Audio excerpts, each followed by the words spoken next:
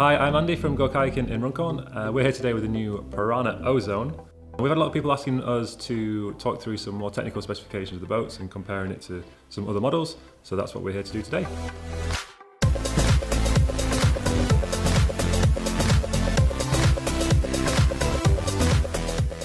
Uh, this is the Ozone, and we've got it here next to the Pyranha Ripper, which is a river runner, and next to the Jed over there, which is the freestyle boat. It's next to the Loki as well. Um, compared to the Loki, the Ozone is uh, longer with less volume, which makes it faster and looser on, the, on a wave. The Ozone is available in blue and orange and custom colours, as well as available in carbon.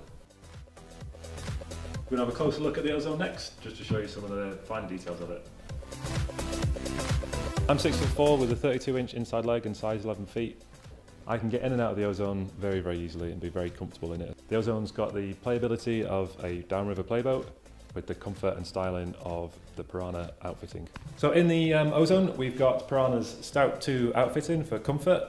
We've got a narrow tapered stern, which makes it really quick. There's a lot of volume taken out at the front, which means we can cartwheel it.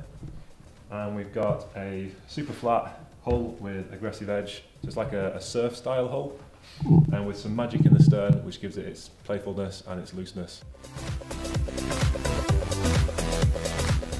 Book your demo boat with Go Kayaking now to experience the magic of the ozone yourself.